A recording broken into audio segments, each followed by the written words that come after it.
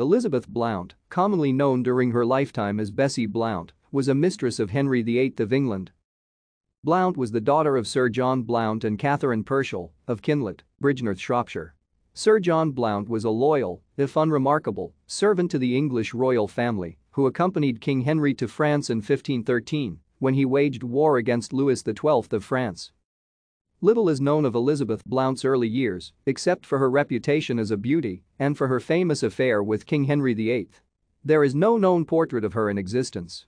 As a young girl, she came to the king's court as a maid of honor to the king's wife, Catherine of Aragon. It was there that the young teenager caught the eye of the king and became his mistress during 1514 or 1515, a relationship which continued for about eight years.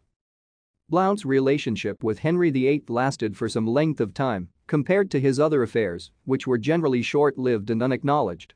On 15 June 1519, Blount bore the king an illegitimate son who was named Henry Fitzroy, later created Duke of Richmond and Somerset and Earl of Nottingham.